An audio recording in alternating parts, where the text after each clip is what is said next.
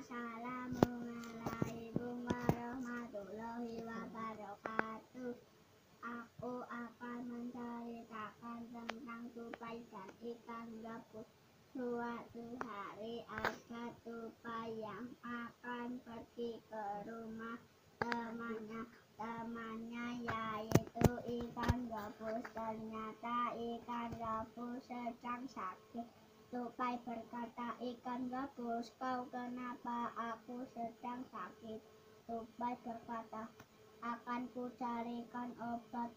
Ikan gabus berkata, kalau mencari obat untukku nanti akan sulit karena banyak rintangan-rintangan yang paling bahaya adalah ular raksasa. Dia adalah mata air yang bisa mengobati aku.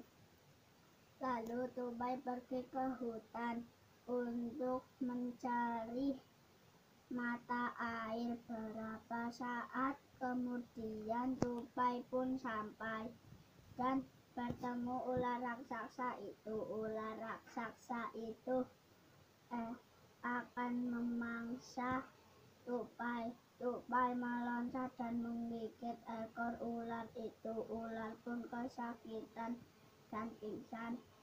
Tupai pun mengambil air tersebut dan lalu dia pulang dan memberikannya air itu ke ikan gabus.